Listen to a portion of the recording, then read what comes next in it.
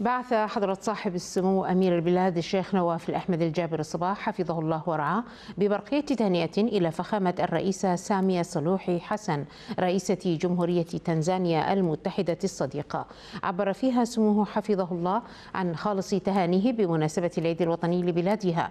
متمنيا سموه رعاه الله لفخامتها دوام الصحة والعافية وللبلد الصديق المزيد من التقدم والازدهار. بعث سمو ولي العهد الشيخ مشعل أحمد الجابر الصباح حفظه الله ببرقية تهنئة إلى فخامة الرئيسة سامية صلوحي حسن رئيسة جمهورية تنزانيا المتحدة الصديقة. ضمنها سموه خالص تهانيه بمناسبة العيد الوطني لبلادها متمنيا لفخامتها موفور الصحة والعافية. كما بعث سمو الشيخ صباح خالد الحمد الصباح رئيس مجلس الوزراء حفظه الله ببرقية تهنئة مماثلة.